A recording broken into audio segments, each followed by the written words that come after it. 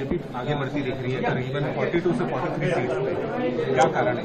निश्चित रूप से भारतीय जनता पार्टी के पक्ष में शहरी और ग्रामीण क्षेत्र में स्पष्ट रुझान है और ये वोटों में जनता की आक्रोश परिलक्षित हुआ है और भारतीय जनता पार्टी जो आज रुझान दिख रहा है, वो निश्चित रूप से आगे बढ़ के सरकार बनाने में सफल होगी। एमपी और राजस्थान में भी काफ़ी बढ़त दिख रही तीनों राज्यों में भारतीय जनता पार्टी पूर्ण बहुमत के साथ सरकार बनाएगी।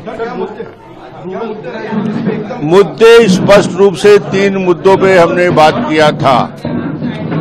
कांग्रेस के वादे खिलाफी जन घोषणा पत्र का क्रियान्वयन नहीं कर पाए।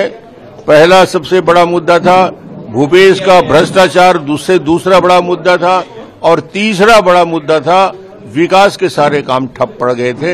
इन तीन मुद्दों को लेकर और भारतीय जनता पार्टी ने जो घोषणा पत्र जारी किया मोदी जी की गारंटी एक सबसे बड़ा विश्वास था। सर महिलाओं का वोटिंग परसेंटेज काफ़ी ज़्यादा रहा। क्या लीकर बैंक का जो उनका मुद्दा था जो प्रॉमिस किए थे वो वो महिलाओं के बारह हज़ार रूपया मासिक देने की योजना और महिलाओं को आ, सम्मान के साथ पाँच सौ रूपया गैस सिलेंडर में देने की बात और 18 लाख आवास देने की बात इन मुद्दों को लेकर उनके अंदर बात आई।